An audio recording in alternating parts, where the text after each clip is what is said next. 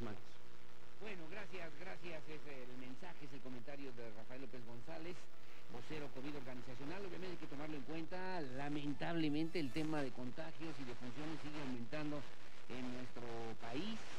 Casi, casi estamos a nada de llegar a los 100.000 fallecimientos y a más de un millón de, ya superamos el millón incluso de contagios en nuestro país, en nuestro México, y parece que la situación, el tema de la pandemia obviamente todavía no termina, no termina y no va a terminar, así que hay que buscar adaptarnos a una situación también de manera distinta. Y luego agréguele un ingrediente, el, estaba yo revisando en la mañana muy temprano, se está agravando la crisis en los diferentes municipios porque no habrá recursos para la seguridad en el 2021, de acuerdo con el presupuesto que se aprobó esta semana, esta semana en el Congreso Federal representantes de diferentes organizaciones de alcaldes del país avisoran un panorama difícil, muy complicado el próximo 2021 ante el debilitamiento presupuestal de las finanzas locales, falta de recursos para combatir la inseguridad y el impacto de la pandemia del COVID-19, por lo menos en los más de 2.400 municipios en el estado, en, nuestro país y que aquí en Querétaro los 18 municipios también se verán afectados por esta misma, por este mismo recorte de presupuesto de recursos para los estados y obviamente para los municipios. Las 8 de la mañana con 4 minutos. Bueno, está en la línea telefónica y le agradezco como siempre esta colaboración especial para Así Sucede Querétaro al senador Mauricio Curi González. Mi querido senador, mi querido Mauricio, ¿cómo estás? Muy buenos días. Mi estimadísimo don Aurelio, a tus más humildes y respetabilísimas órdenes. ¿Cómo te fue de repente? Oye, bien, muy bien, ahí con la familia, ya sabes, en casa, en familia, buscando qué hacer, limpiando aquí, arreglando acá, cambiando una cosa para un lado y para el otro, pero en casita, en casita, bendito sea Dios, mi eh, querido Mauricio. Luego se, se descansa más aquí, mi estimado. Sí, ¿a ti qué tal? ¿Todo bien? Todo en orden. Todo bien. muy bien, mi estimado Aurelio. No, no, no andabas en Tabasco, no andabas en Veracruz. No, no, oye, que eso está algo de Tabasco. Oye, lo que dicen de Tabasco, no sé si sea cierto, que por no eh, inundar la zona de dos bocas, eh, inundaron la zona de los indígenas. Y creo que eso es algo terrible, cara. No, bueno, lo dijo el mismo presidente en un video que él mismo subió en un sobrevuelo que realizó en un helicóptero. De Pero ni siquiera era por Villahermosa, era por dos bocas. O sea, ni siquiera, porque no hubiera pasado nada en Villahermosa ni donde pasó lo de los, donde los temas de los indígenas, que es la gente más vulnerable, sino por no inundar dos bocas, porque pues, se inunda y se inunda y se va a inundar, pues se lo dijimos y le siguen metiendo lana, que es algo increíble. Eso es corrupción, ¿eh? que le siguen metiendo dinero a, cosas donde pues, sabemos que no tiene forma de, que sea un éxito y ya lo saben, eso es corrupción. Y, que se me hace terrible que todavía se tenga, pues la verdad, la poca, eh, ser tan desalmados de aventárselo a la gente más, pro, más vulnerable más vulnerable, pues dicen, ¿no? Y ya ves que ya en este país para los memes somos rápidos y decían, bueno, ¿cómo le hacemos? Pues los pobres primero y sastres, maestro, pasó esa situación, pero también lo reconoció el mismo presidente de la República, ¿eh? Bueno, en un segundo tema, Mauricio, eh, o en el primer tema es el tema COVID. Eh, llegamos a una cifra verdaderamente espantosa, preocupante para muchos mexicanos. Sumamos, un, o sumaron ya un millón nueve mil trescientos noventa y seis los casos positivos de COVID-19 en nuestro país y no 98 mil, al día de hoy, 98 mil 861 fallecidos por el tema del COVID, Mauricio. Pero, te quiero dar unos datos ahí. Tan estamos mal, eh, manejando mal la pandemia, a nivel internacional la gente muere el 2.5% de los que tienen COVID, el 2.5% se mueren. En México es casi el 10%. Eso te dice que algo estamos haciendo mal. Número uno y número dos, nomás no quisieron desde el principio apoyar en el tema de, que se pongan cubrebocas la gente, al contrario, si, no hay este, vacuna, la mejor vacuna es, es, el tapabocas. Y no, dijeron que no, que salieran, que hicieran fiestas, que se abrazaran. Y después el propio López Gatel, que ya no sabía, que él ni él se cree todo lo que dice, pues diciendo que, que no, que esto va mejor, que cada día está mejor, que ya, que ya se aplanó la curva, que estábamos mejor que los países de, Europa, es la verdad, pues nos están engañados. Y, no es que yo no es que yo diga por ser oposición, nos han engañado, están los datos, están las declaraciones, y, creo que es muy peligroso porque se está, mucha gente está, mucha gente se está muriendo que quizá no, no debió haber muerto si se hubieran hecho las cosas correctas. Claro, y nos seguimos y nos seguimos equivocando porque además el tema parece que no disminuye. Ya en, la Ciudad de México, en otros estados de la República han implementado incluso medidas más drásticas, mi querido Mauricio. ¿Tú, tú estarías con estarías de acuerdo en que se implementaran otro tipo de mecanismos para tratar de amainar por lo menos este tema? Es que mira, ya pasamos, digamos, pasamos ya un límite donde podíamos detener el tema económico. A la gente se le pedía que se quedara en su casa, pero no se le ayudaba para quedarse en su casa. Hubieras detenido los relojes de los juicios, los, de, los relojes de los, de los bancos para poder cobrar, y hubieras detenido eso, y hubieras apoyado a la, a la micro, pequeña y mediana empresa y a los que se quedaron sin chamba, formales o informales, no hubiera pasado lo que pasó. Lo que es que la gente tenía que, aparte los más, lo más triste de todos, que los más eh, afectados son también los más vulnerables los que tienen que salirse a buscar la, chamba y a buscar el chivo, los taxistas, los que tienen que abrir el tianguis, es decir, aquellos que tuvieron que, que quedar sin chamba fueron los más afectados. Ya pasamos ese límite.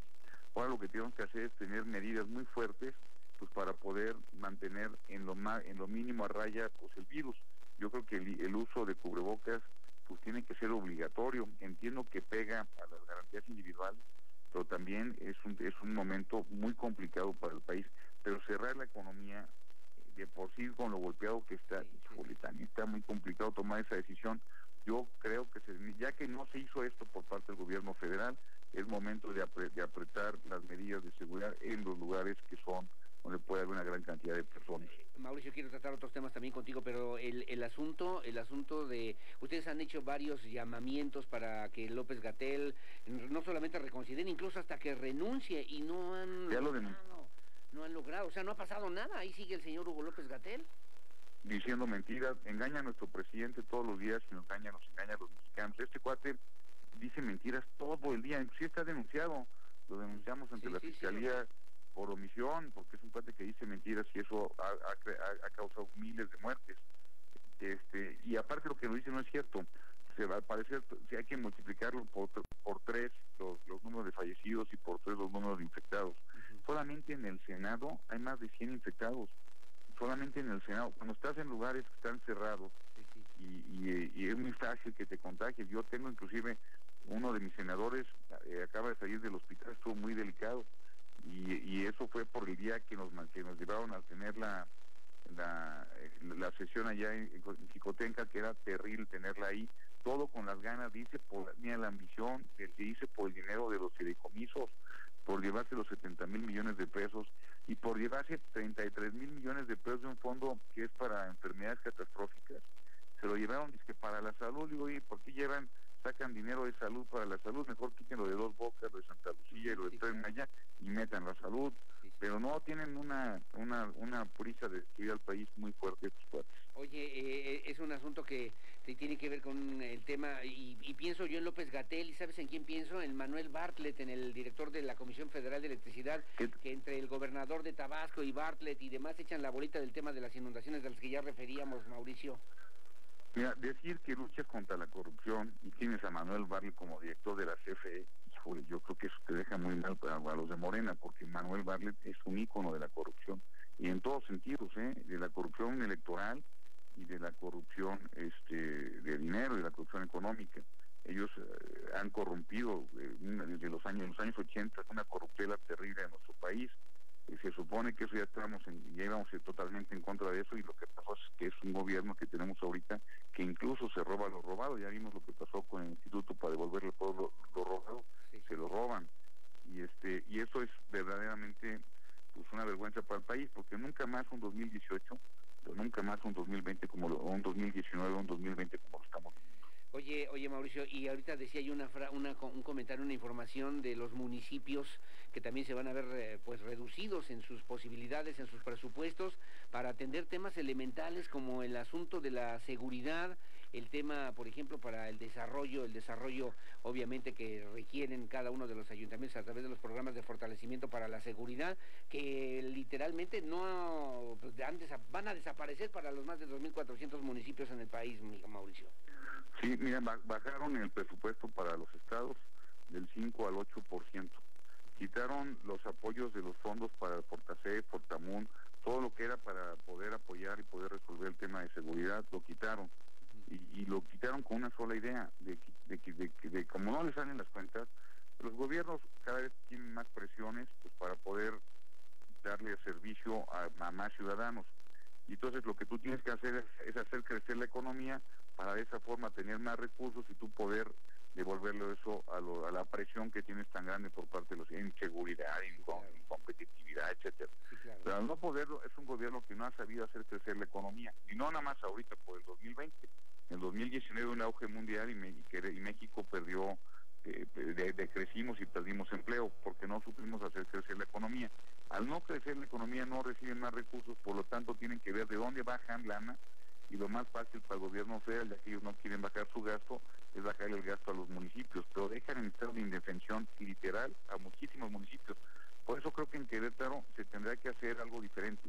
Querétaro tendrá que seguir atrayendo inversión para que podamos seguir teniendo ese crecimiento y en la medida de lo posible en, los, en, lo, los recursos que tienen los municipios como traslado de dominio, como predial, eh, licencias de municipales, etcétera, pues poder de ahí mandarle lana a la seguridad para que de esa forma salga el círculo virtuoso, que tenga seguridad, hay certidumbre, llegue inversión, hay empleo y hay bienestar. Oye, eh, nada más para precisar, porque dijiste, bajaron de 5 a 8%, o sea, aumentó el recorte o, disminuyeron, dicho de otra manera, eh, los recursos que obviamente tendrían que llegar a los municipios. Yo estaba revisando las cifras, 182 mil millones de pesos para los estados de la República y que, dices, no llega a los estados, no llega a los municipios, pues no llega a la gente, Mauricio Curi.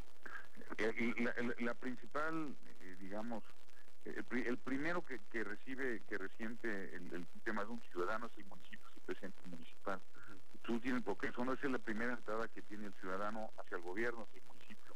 Y cuando lo dejas en estado de indefensión, mira, porque te des una yo construí eh, en obra 500 millones de pesos en el último año del municipio. y, el, y, este gobierno de ahorita, no, Roberto, no tiene la, la, forma de hacerlo porque le cerraron la llave. Y eso te quita pues, la, la, forma de movilidad, de poder apoyar a, lugares vulnerables, de poder apoyar temas de seguridad.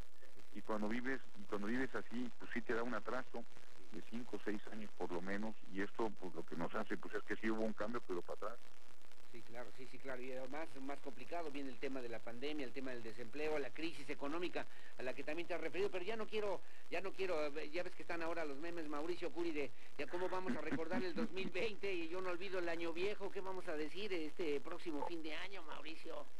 y lo más triste de todo es que el 2021 no se avisora mejor. 2021 se hizo muy complicado. La, vacuna está por salir pronto en diciembre. En lo que se hace, se tienen que hacer, no sé, 3 mil millones de vacunas para todo el mundo.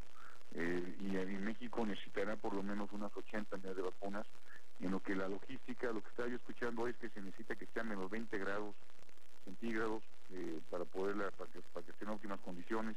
Y ahorita el gobierno, con, quitándole el, contrato que tenían en las farmacéuticas para ellos entregarlos, ellos tenían la responsabilidad y la obligación de entregarlos en, óptimas condiciones, ahora que ya centralizaron todas las compras y las jalaron para ellos tener todo el poder, pues no están llegando ni las medicinas que tienen que llegar para esta temporada de influenza.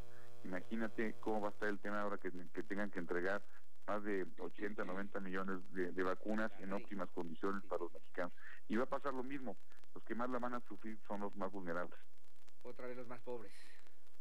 Los más pobres, los que, no, los que están más alejados, los que están más damnificados, ellos son los que la van a sufrir más. Bueno, me están diciendo aquí también, gracias al médico, me dice también falta el, el tema del coronavirus que todavía no se resuelve, las bajas temperaturas que además generan influenza y luego también otro tipo de situaciones clínicas o de salud. De salud el dengue, por ejemplo, el dengue, el dengue por no, por no, por no fumigar, se vino una epidemia de dengue también y eso fue por ahorrarse lanas. Mira, el gobierno no, el gobierno tiene que ser austero, claro, pues no solamente un año, siempre tiene que ser austero, pero tiene que entender que el gobierno está para que nos regrese lo que pagamos de impuestos, nos lo regresen en servicios.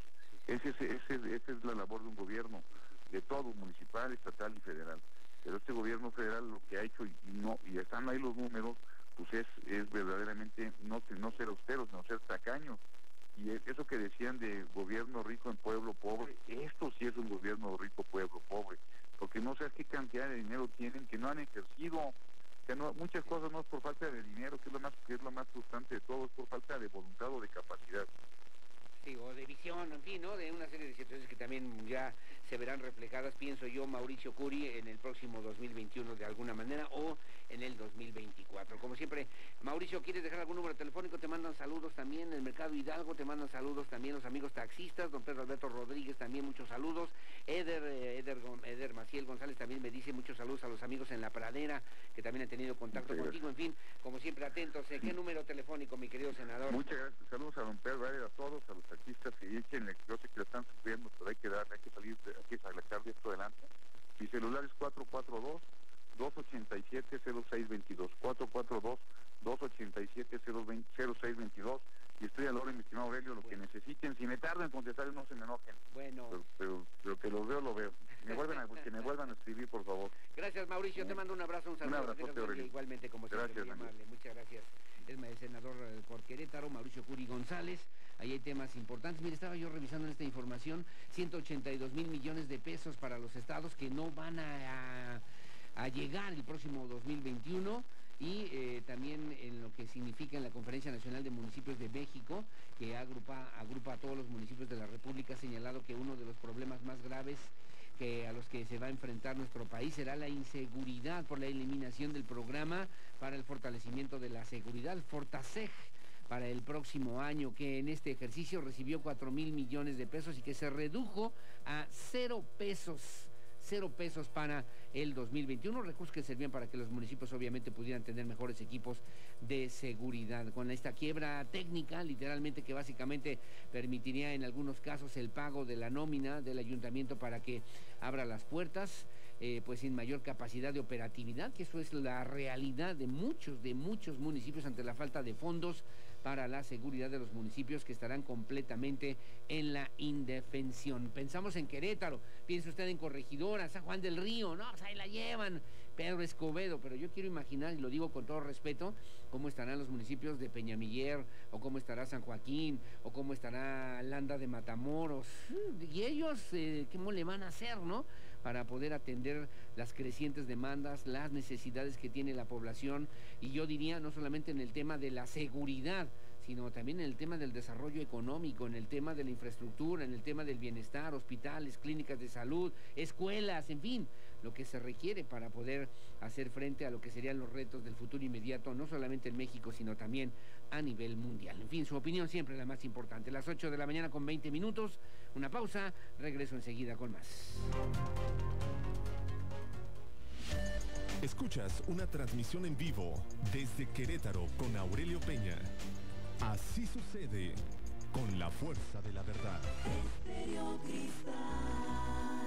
Aprovecha el buen fin con Movistar. Disfruta hasta 30% de descuento y meses sin intereses. Además, recarga desde 100 pesos y llévate hasta 4 gigas de regalo en la compra de un smartphone de las mejores marcas como Samsung, Motorola o Huawei. Cámbiate a Movistar y multiplicamos tus gigas y vigencia. Visítanos o compra en línea. Movistar. Ofertas de verdad en el buen fin del sol. 20% en todos los cosméticos Revlon y Maybelline. 20% en gran selección de juguetes de las mejores marcas. Y 30% en toda la línea Tefal, Eco y Vascon.